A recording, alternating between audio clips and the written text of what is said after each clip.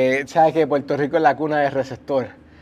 Eh, eh, gracias a Dios tuvimos, pues hemos tenido muchos receptores buenos. Este, ahora mismo, pues está Martín Maldonado con Houston, ha hecho un tremendo trabajo en su carrera. Cristian Vázquez ha hecho lo mismo. Víctor Caratini ha mejorado mucho, mucho, mucho. Ahí tenemos también a- al de que no ha cachado mucho, pero eh, a MJ Meléndez, que también es catcher. Eh, pues Tomás Nido, que tuvo una temporada pues que lo bajaron para AAA.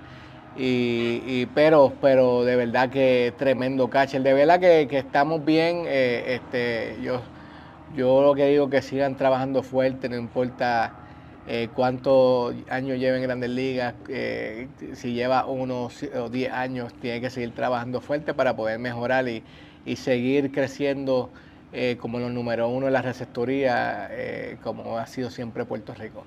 Tenemos, tenemos una, una- buena rama, yo creo que en Liga Menor este, no, no he tenido tiempo de estar eh, verificando bien, bien, bien, pero entiendo que hay varios receptores de Liga Menor que prometen, eh, como eh, en puerto- puertorriqueños que prometen y, y vamos a estar bien. Yo creo que este pues pasó lo mismo con Iván Rodríguez, pasó lo mismo con Benito Santiago cuando pues pues se retiraron, tuvo ese, ese, ese tiempo que quién sería el próximo.